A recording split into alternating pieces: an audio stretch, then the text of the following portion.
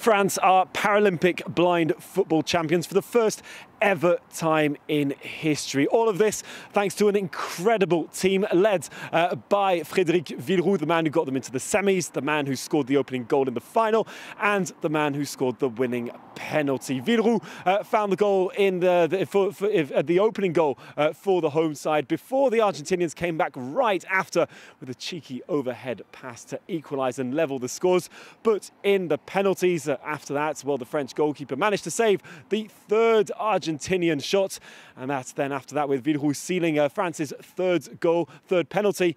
Well, he got the uh, gold medal for the Bleu for the first ever time. A monumental win in front of the Eiffel Tower and so big that France are in fact the first nation aside from Brazil to actually win the gold medal in the Paralympics because yes, the Brazilian side uh, have won every single edition of the Paralympics ever since uh, blind football was introduced to the games. That was back in 2004.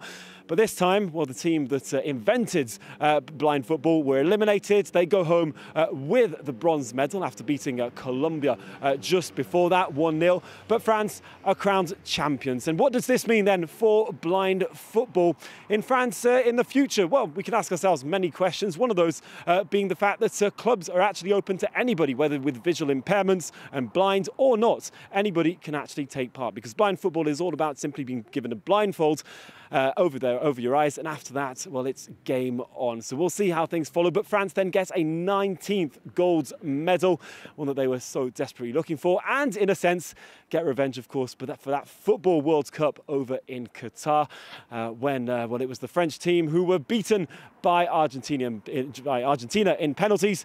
But in Paris 2024, well, it went the other way round.